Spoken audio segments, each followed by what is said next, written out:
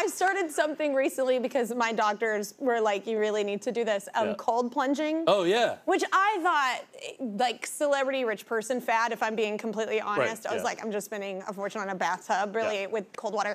And, um, but it actually is pretty beneficial. And I heard that you did it, like, out in open water. Like, I did. So I hear that it's really good for you, right? Yeah. And I hate the cold. I hate it. Hate the cold. Me too. So, and I love the seasons. I live in New York for a reason, but I'm not Yeah, but you can wear the- clothes in that scenario. Well, yeah, and my feet are cold Yeah. all the time, constantly. Yeah. It's too much information for No, me too. My it's toes right, you know and my fingertips. So, circulation. uh, so a couple of years ago, we started going to um, this this town called Skibbereen in West Cork in Ireland. I have some family friends there.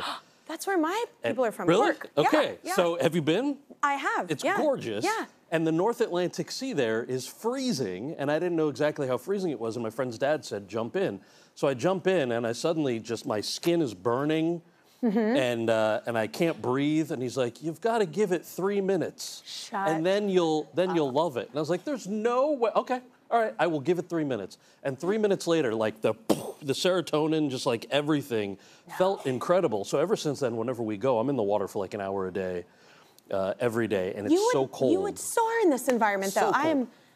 so then, go ahead, go ahead. No, no, you keep going. I was just that, that was the entry point to then like the thing that you think of as a kid when you see all the crazy people on on January 1st Like doing polar the polar plunge? plunge. Yeah.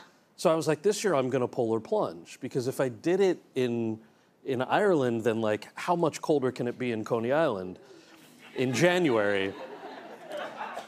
Uh, it was colder. out- it was a lot colder. Turns out, yeah, yeah. it was a lot colder. I had bourbon. That I, helped. ju- I ju- of Yeah, course, the- something to warm, Yeah. Something.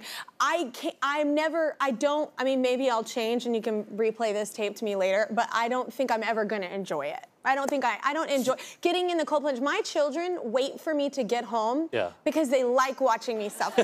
they, they're like, are you gonna get in the cold plunge? They literally, that's the first thing they do. They run up and they're, are you gonna in the cold plunge? I'm like, why do you wanna watch me suffer? this is very messed up. I'm just saying, if you're, uh, bring the kids and let's do it together next year, January 1st. The, the plunge? Okay. yeah, I would oh, do I would do it. Peer pressure. I would do it, and I'd act like I'm it. fine. I'm But totally make the kids do it, too. Yeah, yeah. Oh no, they won't do it. They, they. I tried to get them in it, and they were like, "We'll do our hands." I'm like, "Oh, will you? Your hands? Are they cold?" I was like, they love watching me suffer. You would do really well in it, though. That's really good. I've never done a proper like tub cold plunge. It sucks. Sounds intense. It looks intense. yeah. Yeah. Oh, like Josh Brolin just did it on SNL. Because I guess he's been doing it for years or whatever. And Yeah. Peyton Manning was just on here. He's like, I go for 20 minutes. I was like, oh, okay. I mean, here's Like- the thing: when you do it in the ocean, like you're starting with bourbon, you're swimming around. Okay. Your friends I like are you do it, yeah. That's like a, it's a Have you do whole thing. Mm-hmm. But getting in those tubs look terrifying to me. They look freezing, and but now there are health benefits. so, Cold. yeah, I know. I know the things. I'll keep yeah. it in mind.